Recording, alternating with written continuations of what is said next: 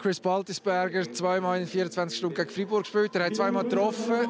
Es war gleich ein rechtes Herzstück. Ähm, was, ne was, ne was nimmt man jetzt mit aus, aus diesen zwei Matches?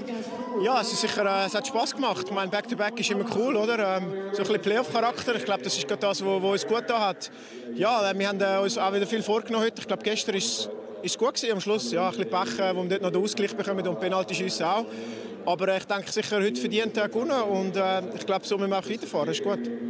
Es ist so ein bisschen, mir dünkt, so ein Abbild von dieser Saison. Man muss sich beim ZSC extrem reinhängen. Es passiert irgendwie nichts einfach, wenn es mal so aussieht, als ob es gut laufe. Auch der Match heute, was, was nimmt man jetzt hier raus aus dieser Partie?